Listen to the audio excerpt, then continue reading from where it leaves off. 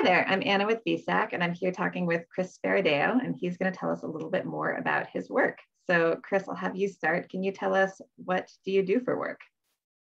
Hey there, thanks for having me. Uh, my name is Chris Sparadeo. I am the off-grid specialist at Catamount Solar.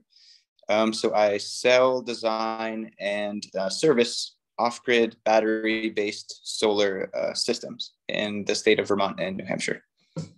So um, my job really entails um, coming up with good solutions for people who are living off grid, so that don't have access um, to the utility, the electrical utility, um, maybe for own personal choices, or they just live too isolated.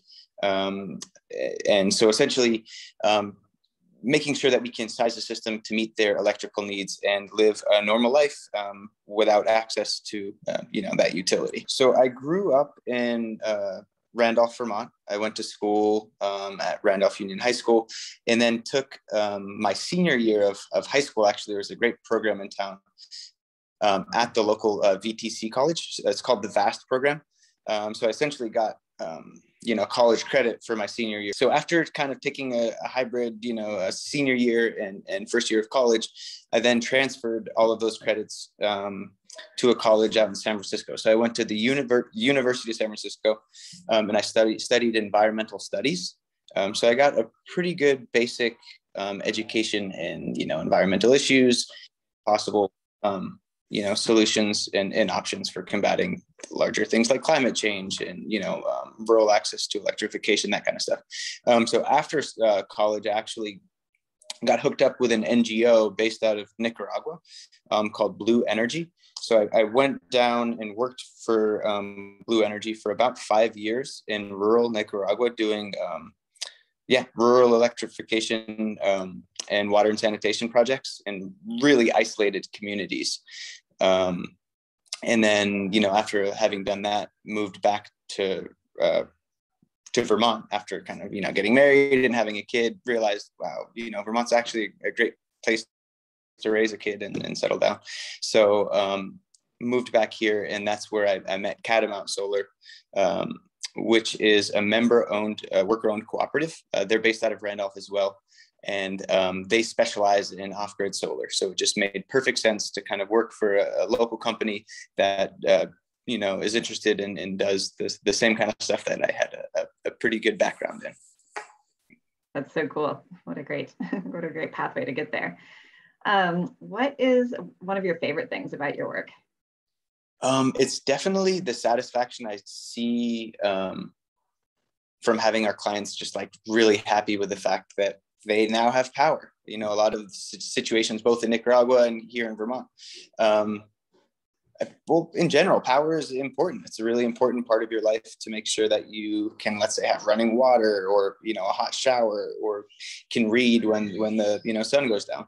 Um, so access to power kind of enables you to have access to um, a lot more things. Um, so definitely seeing people excited about something as simple as maybe just turning on the light or being able to use a toaster you know um, it, pretty cool that's great um, what are some of the things that you find most challenging about your work um, so one thing for example that's that's pretty challenging is because uh, in a lot of scenarios we act as the utility um, so if you know it doesn't always happen, but let's say there's an issue um, with a component um, or a lightning strike or the you know somebody's off-grid system's down.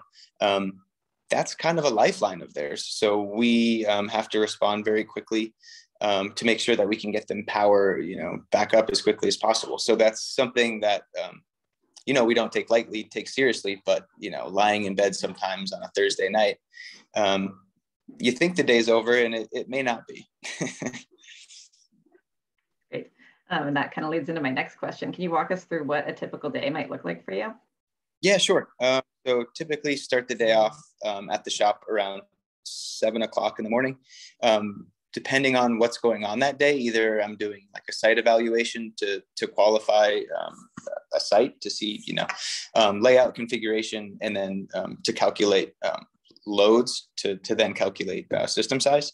Um, if that's done and you know we've kind of gone through the the sales process and it's installation day then we're, we're getting trucks filled um, with with proper components getting uh, you know solar uh, array layout size to make sure we have the correct fasteners and, and uh, rails to, to go up on the roof um, so there's a lot of moving parts um, and we have a lot of uh, great you know electricians and installers that we work with to help the process be a lot easier thanks um, what do you think makes someone a good fit for this kind of work?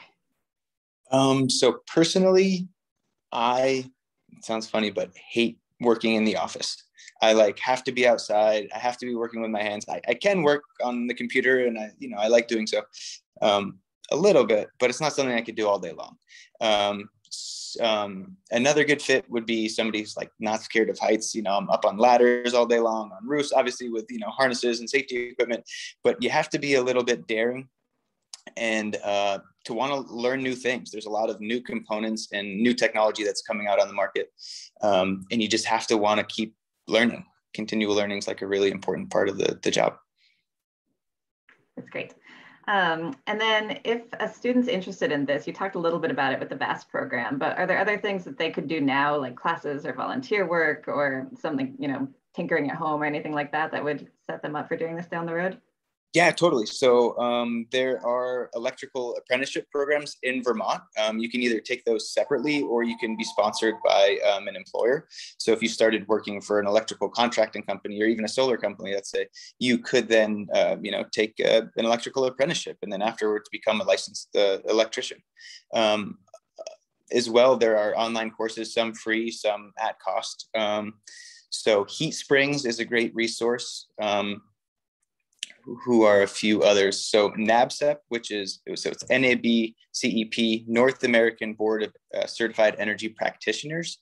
Um, they offer a certification for uh, design, installation, uh, system and inspection, uh, but they are kind of um, the authority when it comes to um, kind of solar credentials. So they have a lot on the, their website as well, a lot of good um, training resources, some, you know, like at your own speed online and some kind of in-person training, um, you know, to point you in the right direction.